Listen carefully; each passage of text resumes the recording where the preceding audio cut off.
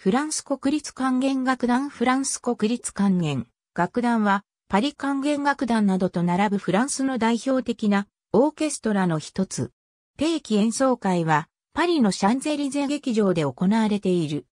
名称が似通っているイルド、フランス国立管弦楽団や同じくラジオフランスが管理、運営しているフランス放送フィルハーモニー管弦楽団などと混同されることがあるが、両者とは設立当初から現在に至るまで全くの別団体である。1934年2月18日、当時の郵政省、ジャン・ミストラーの提唱により、フランスラジオ放送専属のオーケストラとして創立した。当初の名称は、フランス国立放送管弦楽団である。デジレー・ミール・アンゲル・ブレシトを初代主席指揮者に迎えてスタートした。マニュエル・ロザンタールの時代である1948年、6週間のアメリカ演奏旅行をした。1964年以降は、オーケストラナショナルでエル・オアーティフとなる。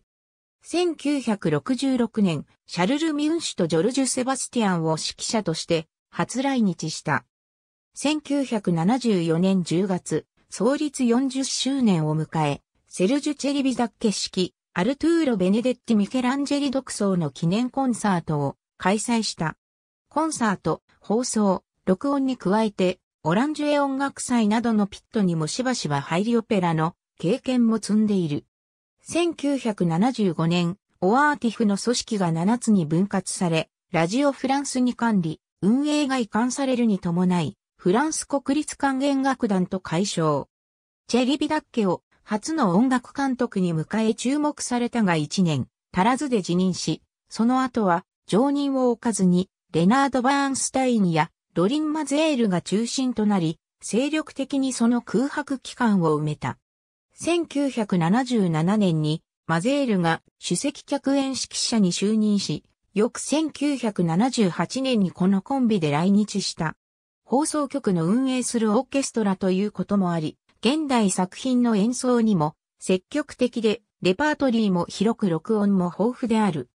また、歴代の主席指揮者、音楽監督が、総じてフランス音楽を得意としていたことから、やはりフランス音楽の録音で名高い。